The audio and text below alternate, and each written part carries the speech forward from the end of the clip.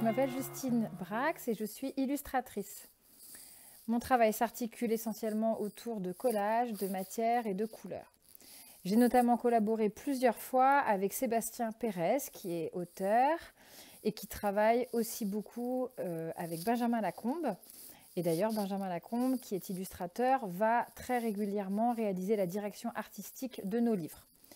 Avec Sébastien Pérez, j'ai réalisé trois albums notamment Fils de dragon, Cœur de pirate et Le dernier des loups que je vais vous lire dans une autre vidéo.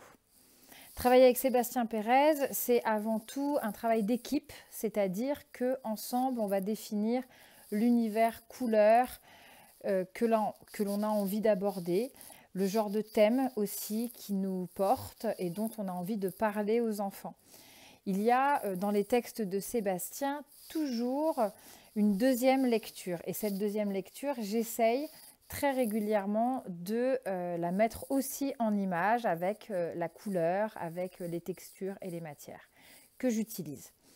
Pour le dernier des loups, par exemple, c'est l'histoire de Milo qui va à la rencontre bah, d'un loup en espérant le tuer, le chasser.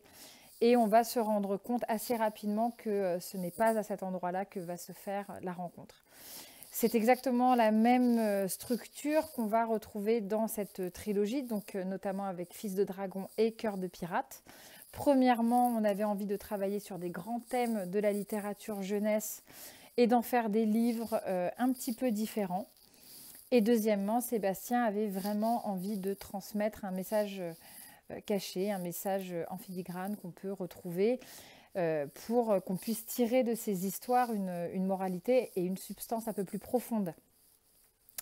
Pour le dernier des loups, qui est le dernier livre euh, sorti, je vais vous expliquer pourquoi le choix couleur. Je vais aussi vous expliquer pourquoi j'ai travaillé avec euh, cette technique-là de représentation.